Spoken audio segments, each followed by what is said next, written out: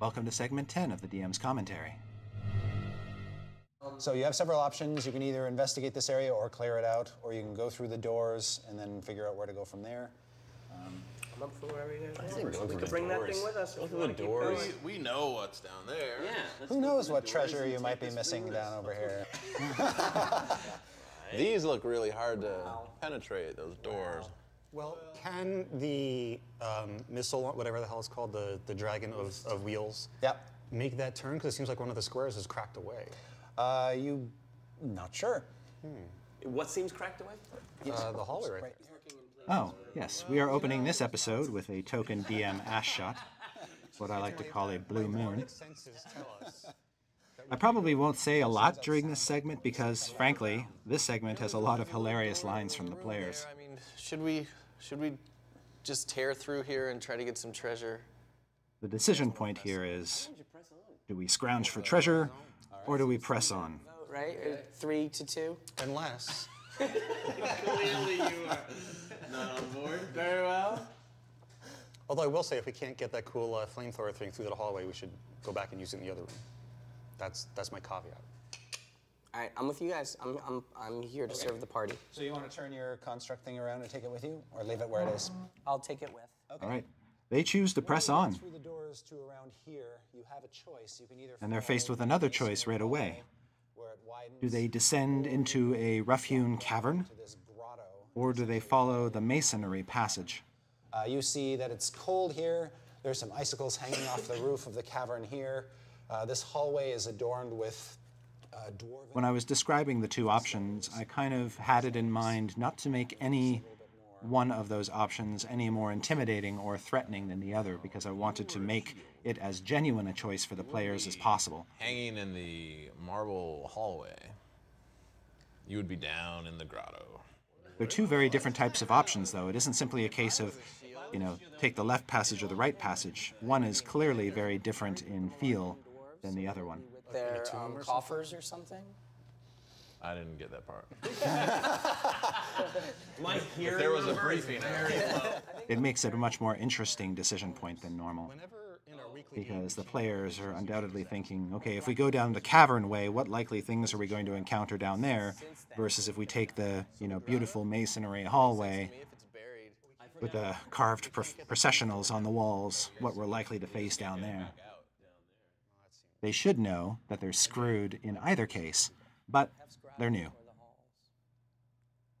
Except for Dan Be able, supposed to be able to see and Doug. here. Or the hallway. And Doug, you can tell, you can look at Doug's face, and he's like, "Oh yeah, it doesn't matter which way we go, guys. We're going to be screwed either way." I'll follow you. Uh, you know from the dwarven face a little bit about this area, and you do know that there was a hall, some sort of regal hall there. That's about all it was able to tell you. As for staircases and stuff, you just don't know.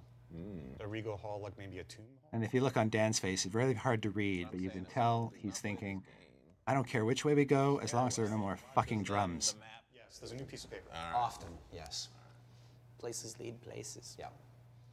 Do we get action points back because we healed? Uh, you don't. If you spent them, you don't have them until you go through another encounter. Counter.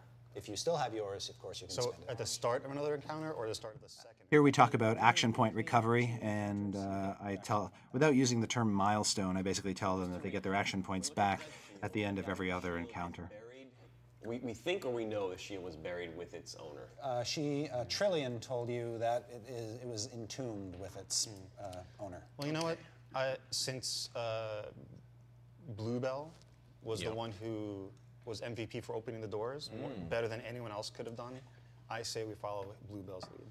All right, Bluebell will make the final call, but let's say, show of hands, who wants to go to the, the ornate All right, now this is how a player group should function.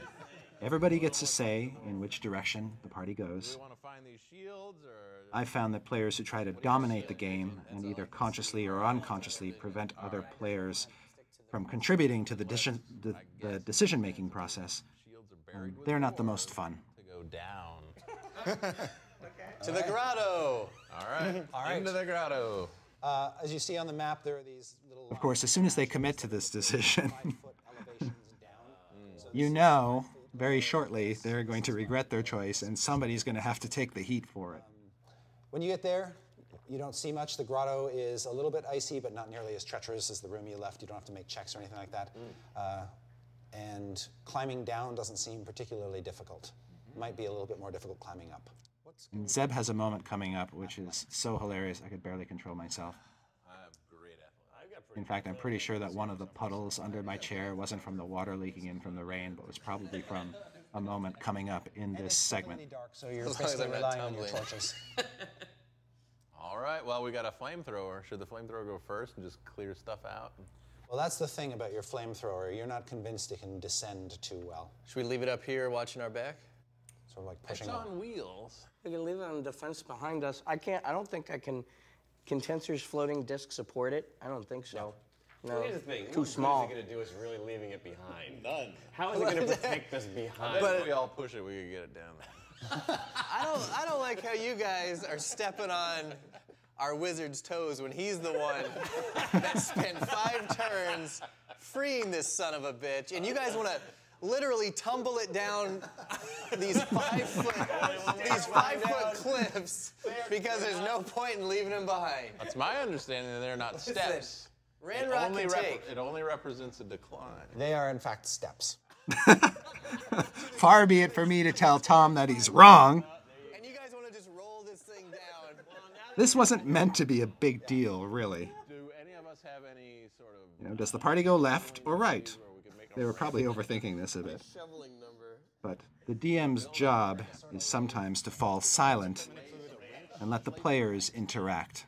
Listen, listen. I'm not doing manual labor other than getting. We got along just fine without the rope. flamethrower. Can we use rope to tie off the back and lower it down uh, a step at a time? You think so? It's it's time consuming, but not particularly what? So So it arduous. takes some effort, but we could lower it down. Let's go down first. If we find we need it, we maybe can So come we'll back. leave it up here and then like pointing outward. It's like going into war. and You've got leaving an your awesome tank tank, behind. but eh. We'll leave the tank here. If we When we get, We need to lower it by rope or leave it or go in. or do we just want to go in the hallway? What if the so we stealth can when keep we get to the end of DM tip number six don't get in the way of a good player exchange. Guys Just let the fun happen. how much landscaping we did just so this flamethrower could follow us into the grotto. And I, I hope you guys are proud of yourselves. Do we still want to go to the grotto? Since we, since this can. So we're, doing, we're basing our entire strategy on this semi-sentient flamethrower. When, when did he become the most important maybe- member of our team? Listen, it said, it said, it said Maybe they should elect the ballista party leader. A tomb in a, in a, in a very marble, nice. For one thing, don't badmouth that flamethrower. He- I like that member of the team better than I like you. He's way more useful. That's what I'm all you, do is, all you do is walk three squares and trip and fall. It. I ask it of its of its abilities and and where it came from things. and where I burn things. previous to me.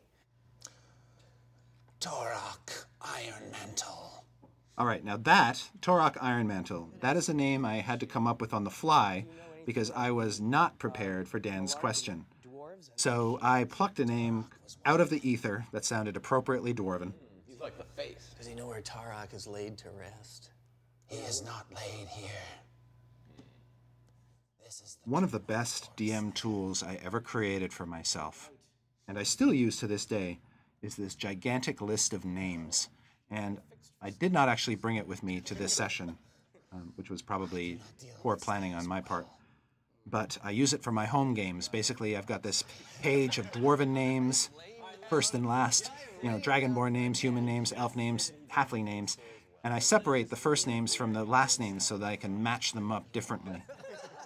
And I keep these long lists handy uh, for my campaigns when they meet incidental NPCs that I hadn't uh, pre planned on them encountering. Hugely, hugely useful. I should really post that somewhere. Maybe I'll post that up on my community blog on the community.wizards.com site. I think a lot of people would find that very helpful. that tunnel there, and, you Also save DMs a pile of time. activate it once for fun, just down the hall. See what we hit. Burn the hall. Yeah. Done.